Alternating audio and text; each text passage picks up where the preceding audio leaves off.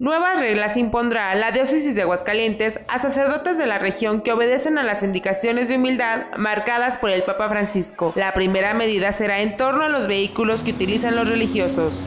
Que todos los presbíteros de cualquier lado, eh, de en donde sean, deben llevar una vida austera, no ostentosa, y por lo tanto los vehículos necesarios para el trabajo deben ser, digamos, sencillos, que estén en buenas condiciones, pero que no tengan eh, ningún carácter de ostentabilidad escandalosa.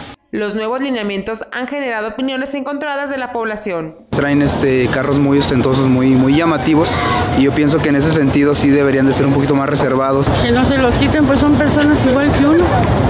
Ellos batallan mucho también. La libertad en el uso de prendas para los sacerdotes fuera de los templos ha derivado también en una observación de la diócesis para recomendar a los religiosos el uso de prendas identificativas en todo momento. Hay que en lugares de mucho calor, por ejemplo, pues no se puede soportar un, un traje con saco pesado y negro, pero algún signo que, que, les identifique como sacerdotes, así sea una guayabera decente con una pequeña cruz en la solapa. Que aunque anduvieran vestidos de civil, traían su cuello, entonces sabe uno perfectamente que es un sacerdote. La diócesis de Aguascalientes asegura que estas medidas no son superficiales y van acompañadas del reforzamiento espiritual de los presbíteros. En el estado de Aguascalientes, lineainformativa.com, Ivonne García.